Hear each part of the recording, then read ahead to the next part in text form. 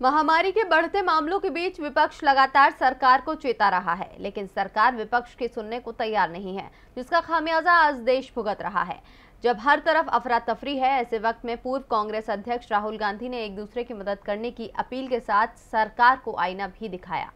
देश में कोरोना का प्रचंड रूप जारी है। बढ़ते कोरोना मरीजों के कारण अस्पताल में बेड्स ऑक्सीजन सिलेंडर की मारामारी हो गई है तो वहीं कई राज्यों में वैक्सीन की कमी। इस बीच चरमराई व्यवस्था को लेकर कांग्रेस सांसद राहुल गांधी लगातार मोदी सरकार पर निशाना साध रहे हैं। राहुल गांधी की मोदी सरकार के खिलाफ तेवरों में आक्रामकता देखी जा रही है। बुधवार को राहुल गांधी ने एक बार फिर सरकार के खिलाफ ट्विटर के ज़रिए मोर्चा खोलते हुए इसे अंधा सिस्टम करार दिया। उन्होंने अपने ताज़ा ट्वीट पर लिखा एक दूसरे की सहायता करते आमजन दिखाते हैं कि किसी का दिल छूने के लिए हाथ छूने की ज़रूरत नहीं। मदद का हाथ बढ़ाते चलो, इस अंधे सिस्टम का सच दिखाते चलो। इससे पहले भी राहुल गांधी कोविड के हालात को लेकर मोदी सरकार का घेराव करते रहे हैं। हाल ही में उन्होंने देश में सभी को मुफ़्त वैक्सीन देने की वकालत की थी और इन हालात में सेंट्रल विस्टा परियोजना के काम जारी करने पर भी सवाल उठाए थे। बुधवार को स्वास्थ्य मंत्रालय की ओर से जारी आंकड़ों के मुताबिक बीते 24 घंटे में देश में कोरोना के तीन लाख साठ हज़ार नौ सौ साठ नए केस सामने आए हैं। नए केस के बाद देश में कुल संक्रमितों की कुल संख्या एक करोड़ उनासी लाख सत्तानवे हज़ार दो सौ